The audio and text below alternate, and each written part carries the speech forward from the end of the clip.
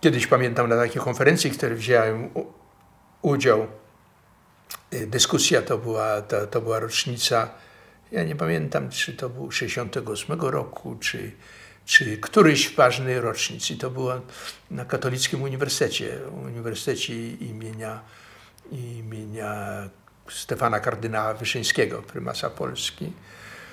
E, organizowana konferencja przez mojego szwagra, brata mojej żony, który tam jest profesorem. E, I wtedy byłem, dyskutowałem i w panelu był też, był też Karol Mozelewski, przyjaciel, człowiek, do którego jestem ogromnie przywiązany. E, I ktoś jeszcze, mówiąc prawdę, nie pamiętam tej chwili, kto tam brał udział. I wtedy Karol powiedział rzecz, która, która mi się wydała bardzo prawdziwa, ale równocześnie jak on to sformułował tak klarownie, to, to na mnie to zrobiło silne wrażenie. On mówił, mówił o sobie.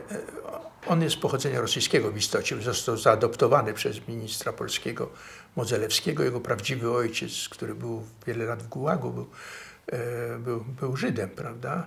E, rosyjskim. Matka Żydówką polską.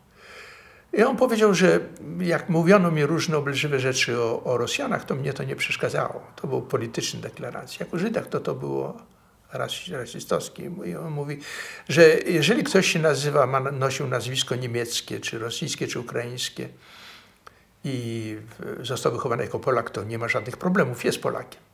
Znaczy, to, jak ktoś nazywa się Blumstein, to nigdy nie będzie postrzegany jako Polak.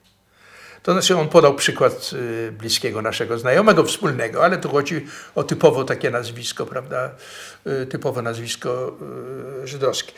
Czy to jest prawdą, czy nie, to, to mówiąc prawdę, to jest mój problem. Ja dzisiaj nie jestem w stanie ocenić, jaka jest prawda. To znaczy tak mam złożone i sprzeczne, i sprzeczne informacje. Ale fakt jest, że, że wtedy to ja tak postrzegałem rzeczywistość. Znaczy, że ja jestem Polakiem, bo, ja, bo to zależy ode mnie, bo ja chcę być, bo jestem kulturowo, moja kultura jest polska. Mówiąc prawdę, do dzisiaj niestety bardzo niewiele wiem o kulturze żydowskiej. Nie znam jidysz, nie znam hebrajskiego.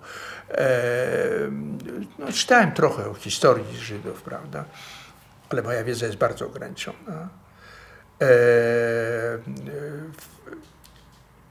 moi przyjaciele to są bądź Polacy, bądź Polacy w takiej sytuacji jak ja, którzy e, z Żydów się wywodzą, prawda, i którzy mają trochę podobny stosunek do rzeczywistości, być może również pewien stosunek do świata, e, pewne, pewna ironia, autoironia, pewne elementy kulturowe, które można by rozpoznać, przypuszczam.